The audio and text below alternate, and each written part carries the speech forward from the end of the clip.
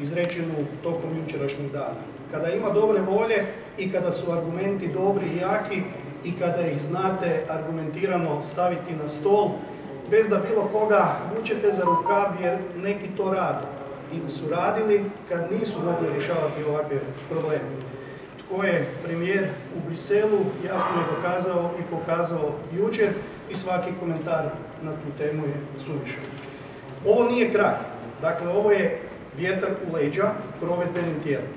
Ministarstvo prostornog uređenja, graditeljstva i državne imovine kao koordinator ovog procesa e, još jednom stavlja akcent na povećanje dinamike obnove, na angažman svog projektantskog hrvatskog potencijala, svog građevinskog hrvatskog potencijala u segmentu objavljenih javnih poziva i kako se selimo stepenicu po stepenicu, sad smo došli u fazu u kojoj prvenstveno želimo dići dinamiku provedbe, javne nabave i ugovaranja.